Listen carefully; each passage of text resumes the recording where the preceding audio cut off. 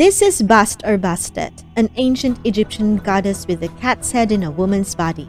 Cats are considered magical creatures that brings good luck to homes. Even Nebamun's cat is painted in his tomb, helping him hunt. When cats die, they are mummified and are honored as treasured pets. So today we're going to draw cats Egyptian style. I will be drawing my cats Midnight and Carbon.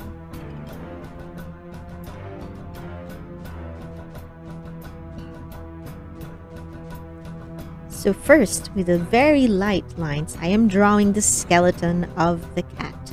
So I have a circle for the head, triangle for the snout, triangle for the ears, a circle for the body, a long oval for the hips, and a long line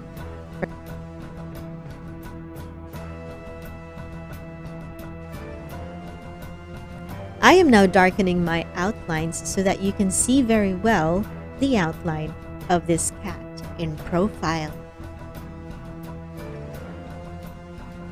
I'm now adding the details of the feet.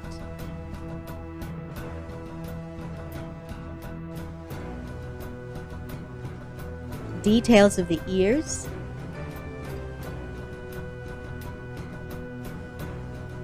And another ear at the back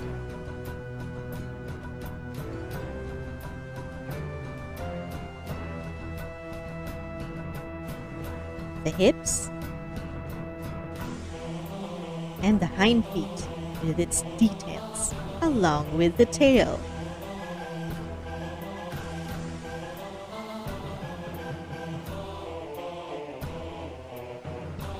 And finally, we need to draw the eyes. The eyes are facing front. Now, trace the outline with a marker or any fine tip pen and color your work. Now take a look at the cats that I have. I have a black one and a white one. The white one has patterns on its tail or stripes. I am coloring the tail and the hips and the back with stripes.